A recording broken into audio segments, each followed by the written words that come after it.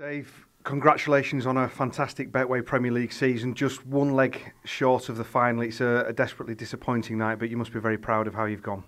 It wasn't one leg, it was three darts. So. yeah, I'm proud.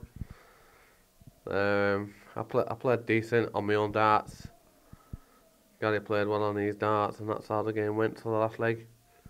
I had three darts, missed, and he shot the 116. Mm. He wins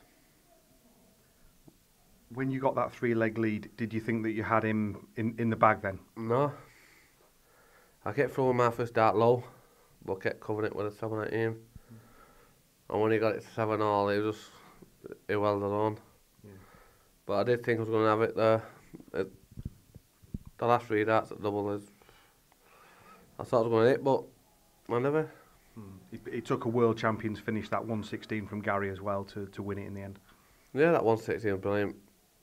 I didn't think he was going to hit it, but he did. So fair play to him. And overall, over the last 16 weeks, it's been possibly the making of Dave Chisnell as a, as a top line player. You finished second in the table and, and gone so close tonight.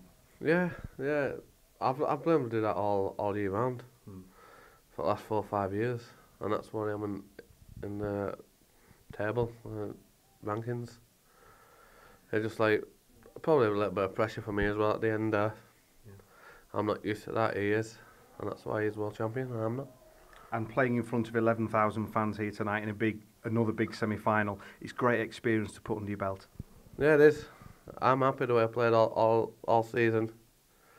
Tonight I was a bit nervous. I had a lot of wheeze. but I went up there, played well, and that's all I can say. Yeah, is this the kind of form now that you want to take into the rest of the year? Well, hopefully. I probably will do, and I'll just take one one time, one step at a time. I know what I can do. It's just doing it. Mm. And tonight I think I was unlucky. Do you believe that there's a, a big major in you this year? Blackpool, yeah. Good man. We look forward to that next. Well done. Thank you. Cheers.